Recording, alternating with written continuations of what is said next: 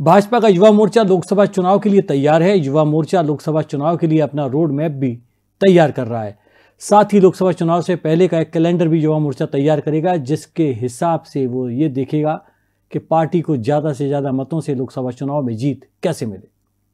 भाजपा युवा मोर्चे की प्रदेश स्तरीय बैठक भोपाल में भाजपा मुख्यालय में संपन्न हुई। राष्ट्रीय महामंत्री रोहित चहल, भाजपा प्रदेश अध्यक्ष वी शर्मा, संगठन महामंत्री हितानंद शर्मा बैठक में शामिल हुए। युवा मोर्चा के प्रदेश अध्यक्ष वैभव पवार ने बताया कि आगामी लोकसभा चुनाव की तैयारी को लेकर बैठक की गई।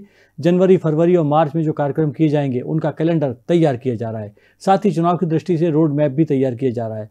जिस प्रकार भारतीय जनता पार्टी ने विधानसभा चुनाव में विजय प्राप्त की है, आगामी लोकसभा चुनाव में भारतीय जनता पार्टी की जीत हो, उसके लिए युवा मोर्चा प्रयास कर रहा है।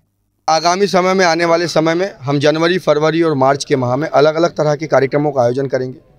इसी निमित्त आज हमारे सभी जिलाध्यक्ष, प्रदेश के पदाधिकारी, प्रदेश कार्य समिति के जिम्मेदार सदस्य, ऐसे सभी महत्वपूर्ण लोगों को बुलाकर आज हमारी बैठक संपन्न होने जा रही है। इसमें हमने तय किया है कि हमारा जो आगामी समय का कैलेंडर होगा, आगे आने वाले तीन महीनों में, आगे आने वाले तीन महीनों में, आगामी आने वाले तीन महीने में जिस प्रकार के कार्यक्रम होंगे, उनका सारा डिटेल आज की बैठक में विस्तृत हम लोग चर्चा करेंगे।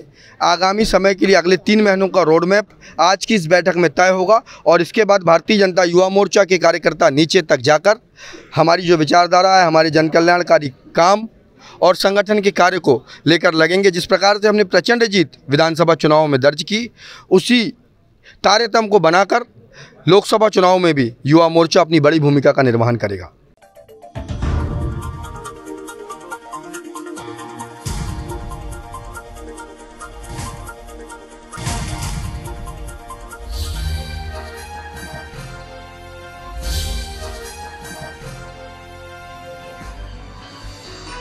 आप देख रहे हैं दखल न्यूज़।